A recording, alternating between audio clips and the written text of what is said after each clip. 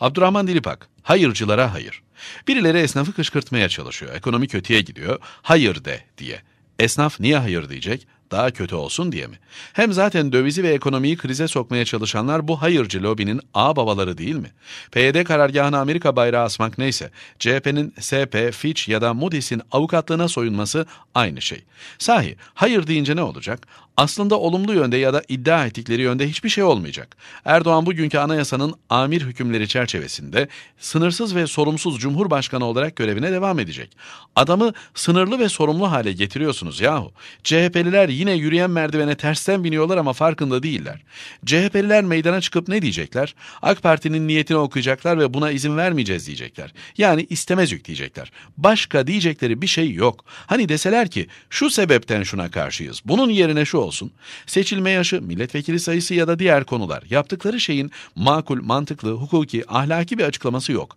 İktidara tersini söylemek marifet değil ki. Utanmadan bir de başkanlık iddiandan vazgeç, dolar normal değerine dönsün diyenler var. Yahu bu suç ikrarı. CHP ve HDP'nin oyu belli. İkisinin toplamı %30 dolayında. İşte topu topu bu. FETÖ'cüler dahil 2016'da telefon görüşmesi diye 1 milyon 200 bin lira fatura getiren hanımefendi de hayır diyor. Nazlı Akada.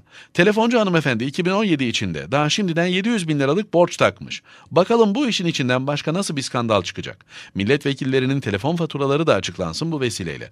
Bakalım en az en çok konuşanlar kimler görelim. Bu kadar telefon faturası nasıl oluşmuş? Herhalde onu da açıklarlar. Hani hayır kampanyası başlamış olsa kampanya için kullandılar deriz ama bu işte bir iş var. Göreceksiniz halk büyük farklı hayırcılara hayır diyecek. Ama bunlar referanduma kadar seslerini yükseltmeye devam edecekler. İçeriden ve dışarıdan aldıkları destekle saldırıları sürdürecekler.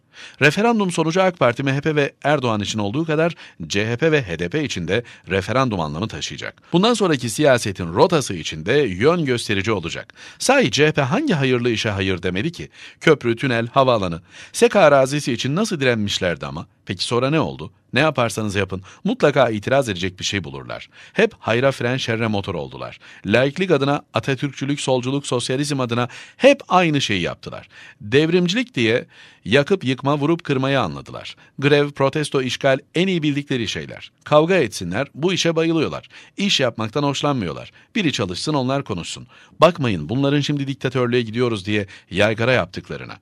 Tek adam, ebedi şef bunların icadı. Hitler'in doğum gününe heyet gönderenler, Mussolini'yi terbiye diktatörlüğü kurdu diye övenler, Mustafa Kemal ölünce başımızda İnönü, arkamızda Stalin var diyenler kimdi? Referandumun yapılacağı 9 Nisan'a kadar bunları dinleyeceğiz. Ama o gün millet konuşacak ve CHP susacak. Sabredeceğiz. Çünkü böyle böyle eriyecekler, tükenecekler ya da akıllanacaklar. Son bir kamuoyu araştırması var. CHP'lilerin %10'u, HDP'lilerin %4.5'i sandığa gidip evet oyu kullanacakmış. Bana kalırsa en az bunun iki katı kadar CHP'li ve HDP'li zaten sandığa gitmeyecek. HDP'lilerin önemli bir bölümü aranıyor olma korkusuyla zaten sandıktan uzak duracak. CHP'nin HDP ile referandum konusunda ortak eylemi kadar ortak söylem içinde olması da CHP için tam bir talihsizlik. Bu referandumda hayırcı cephe tam da gezi bileşenlerinden oluşuyor. Bu cephede CHP, PKK, FETÖ'cüler başı çekiyor. Göreceksiniz bu bileşenlerin toplamı eksi verecek. Bu referandum 18 maddenin ötesinde başka anlamlar da taşıyor ve başka sonuçları da olacak.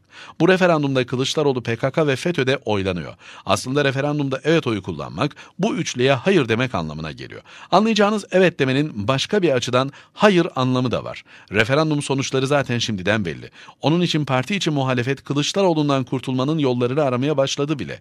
Referandum sonuçları değişime güçlü desteğin dışında CHP, HDP ve FETÖ koalisyonunun toplam gücünü gösterecek. Göreceksiniz alacakları oyu paylaşamayacaklar. Bu iş Nasrettin Hoca'nın ciğer hesabına dönecek. Hani hanımı ciğer kedi yedi demiş de hoca kediyi tartmış ve hatun bu kedi ise ciğer nerede? Bu tarttığım şey ciğerse kedi nerede demiş ya. Göreceksiniz hayır oyu kendi aralarında paylaşamayacaklar. Hayırcılar %30'da kalırsa hadi siz taksim edin bakalım bu pastadan kime ne düşer? 2015 Kasım seçimlerinde durum şöyleydi. AK Parti %49.50, CHP %25.32, MHP %11.90, HDP %10.76. Diğer diğer %2.52. AK Parti MHP toplamı zaten %61.40 ediyor. Diğerlerini ikiye böl zaten %63 eder. Bu en kötü ihtimal. FETÖ'cülerin ve HDP'lilerin kripto elemanları sandığa gitmeyecek. AK Parti MHP ittifakından hayırcılar, karşı cephenin evetçilerinin yarısı kadar bile değil. Bunu da bir kenara koyun. Zaten dünkü denge %63-%37 idi. Dünya alem biliyor ki HDP tabanının yarısını kaybetti, CHP eriyor. O zaman nereye gitti bunlar? Referandum sonucu olarak %65'in üzeri sürpriz sayılmaz. Birileri bugünden matem günü efkar dağıtmak için şimdiden rakı siparişi verebilir. Hani o gün tekel bayilerinde içki bulunamayabilir de. Selam ve dua ile. Abdurrahman Dilipak, Yeni Akit.